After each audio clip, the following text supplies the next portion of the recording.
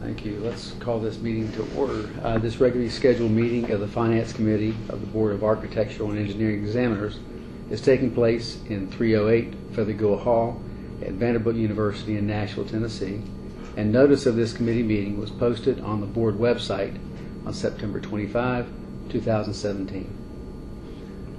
Uh, Roll call? Susan Ballard, Robert Campbell, Blair Parker, Here? Rick Thompson. Here. You do not have a quorum that you may discuss. Thank you. And Robert Campbell is in the building. I'm assuming he'll be in here shortly. And we- we will announce for the record when Mr. Campbell arrives. Yes. Sounds good. Well, as chairman of this committee and, and uh, first time chairing this committee and uh, going through the, the, the financial information we have in front of us is, is actually interesting uh, for me because it is my first time of really fully going through it and understanding it. I believe on page 85 is the spreadsheet that uh, shows the, it's the, the full financial report. And John, I'm gonna, if you would, Mr. Campbell has arrived. Sorry. You now have a quorum. thank you.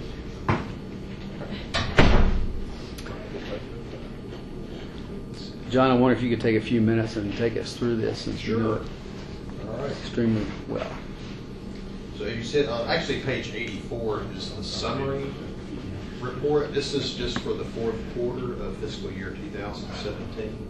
We don't have the final report for fiscal year 17 yet, ending on June 30th. Um, Actually, our um, accounting person in our division's working on the final reports as we speak. So I'll probably get it in the next few days, but we'll, we'll have that available at the December meeting.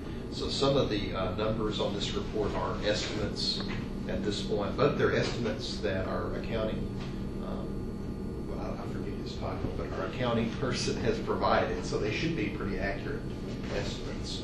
Um, Our licensing revenue for the fourth quarter um, increased about twenty-five thousand from the fourth quarter of last fiscal year, so our revenue's been consistent. And the estimated state regulatory fee for this year, uh, which is calculated as a revenue deduction, is hundred and seven thousand dollars, a little more than last year. And and basically, if you- if you don't know what that is, it's five dollars per licensee that's paid to the Department of Finance and Administration. I think that fee was established back in the eighties, so it's been around a long time. And I think just about every um, audit we have of rate boards, the comptroller's office recommends that that fee be reevaluated, and it- it never is.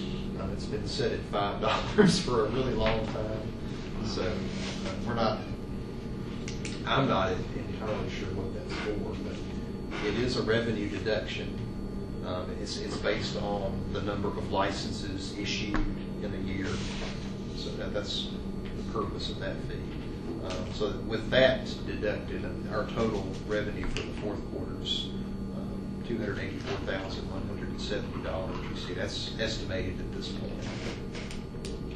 As far as expenditures go, they're, they're largely consistent with the fourth quarter of the previous fiscal year. Um, In-state travel expenses decreased a little bit, out-of-state increased a, a very small amount. Um, State professional services decreased about forty-three hundred dollars. So overall, direct expenditures decreased about fifty-five hundred dollars. So, again, remaining very consistent with the previous year. And after deduct- deducting the estimated cost backs, and those are um, fees that are paid to the department, um, our investigations unit, legal, and also for our customer service center. We have a centralized customer service center now.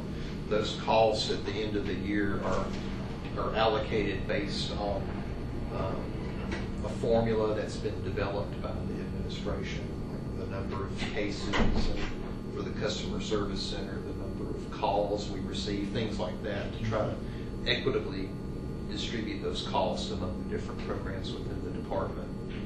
So with, with those, the estimated cost backs are about two hundred fifty thousand dollars. So once those are deducted, that gives us a year-to-date reserve balance of close to three hundred thousand dollars, which will give us an accumulated reserve of close to $2 million, about 1.9 million. But that could change a little bit when you get the final report in December. Those cost backs could fluctuate some. John, let me ask you a question Yeah. on cost back.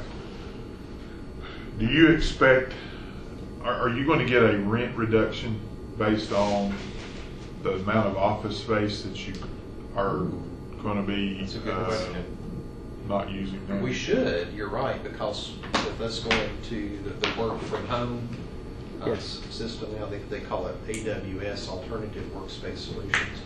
Um, eventually, we're no longer gonna have much assigned office space. Most of us are gonna be, um, what do they call that, um, where you don't have an assigned space?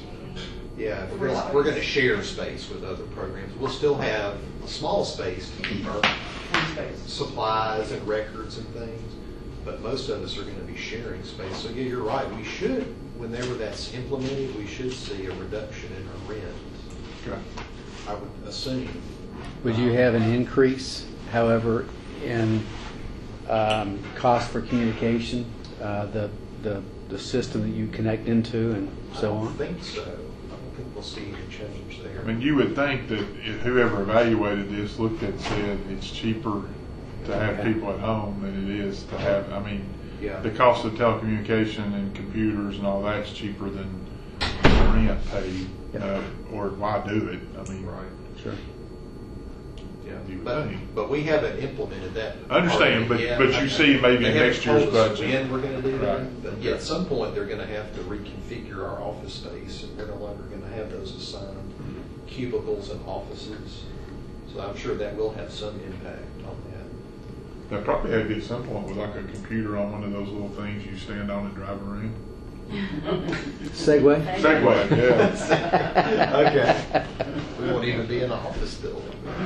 We got on, the- we got on the side going up down public right of ways with headphones on going, yes, can we help you? Yeah. If they, With an umbrella over.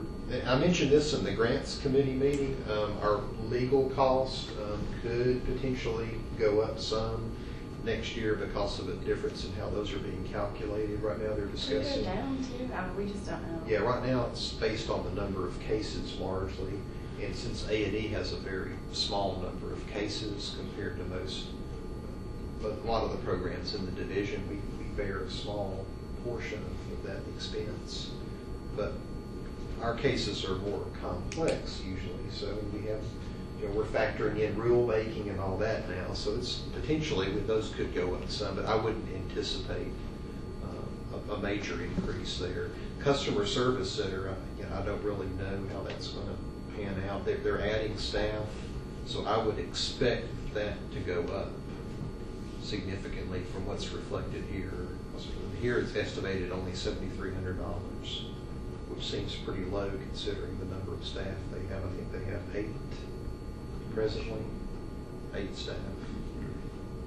And we're about, we're about five percent of their business, I think overall, for the whole division.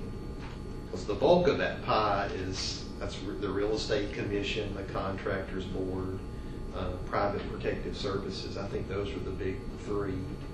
Um, and we're about, I think typically we run about five percent of that customer service pie that they, they send us a graphic every week. And that's usually where we're at. So I, I don't know if that's, if that's reflected with five percent of their expenses or not, but anyways.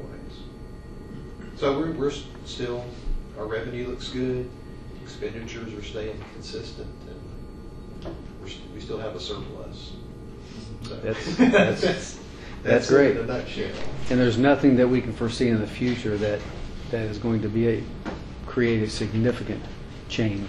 Yeah, now there is, there is a possibility, um, you know, we may see some more uh, cost backs down the road for our licensing system.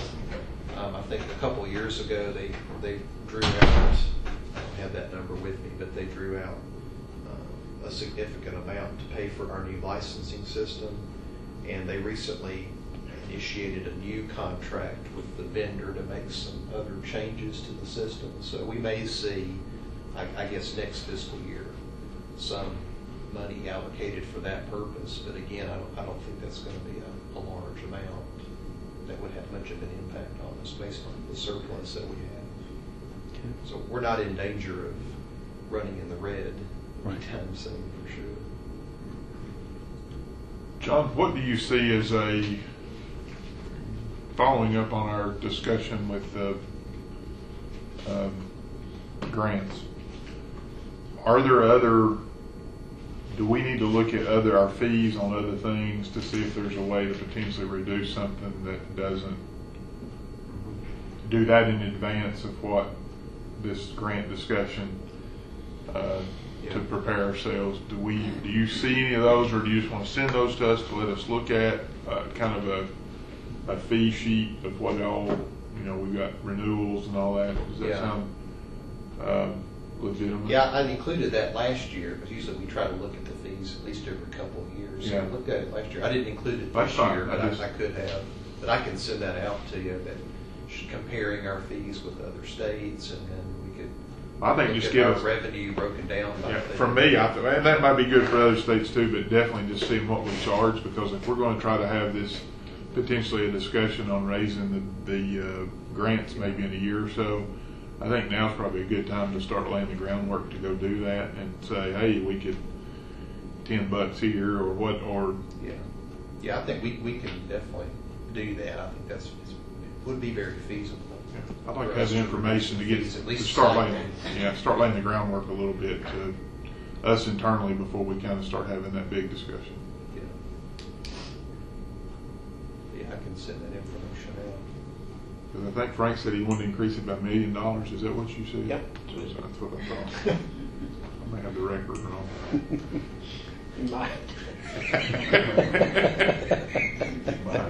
We'll have to go back over the recording. I'm pretty sure that's what he said. Oh, that's not what he said. You know, you know, we talked about that last year, and y'all decided we're to only eliminate the engineer intern fee. I mean, you could have done more than that. Oh, I understand.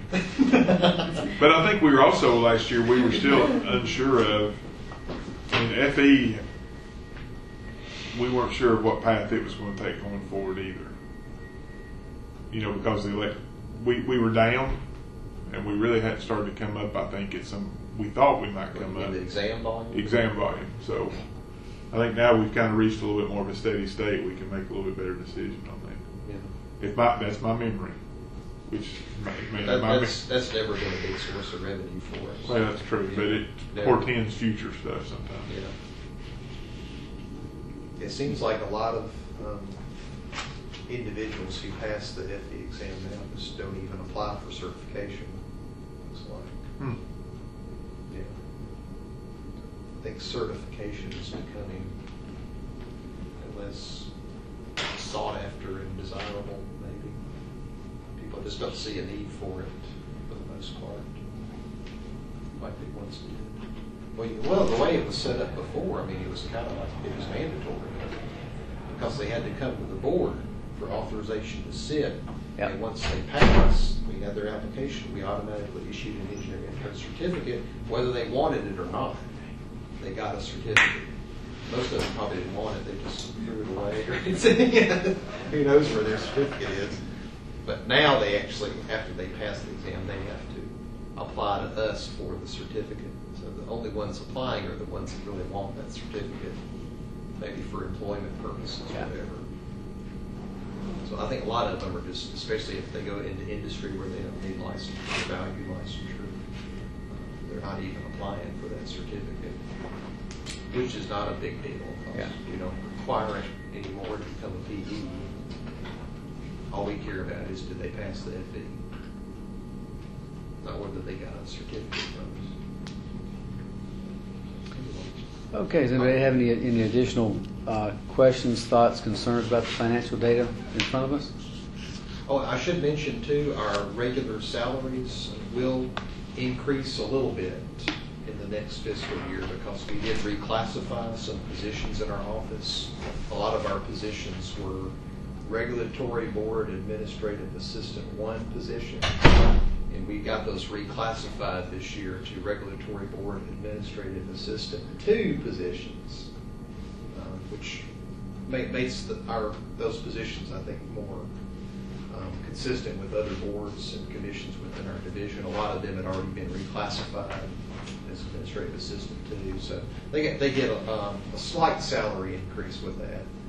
It's not, not a significant amount, but, you know, little raise. We, we do what we can, um, so, but that'll be reflected in the report for next year too. But again, that's not gonna be enough to put us in the red or anything. Phillips even bought a paper today.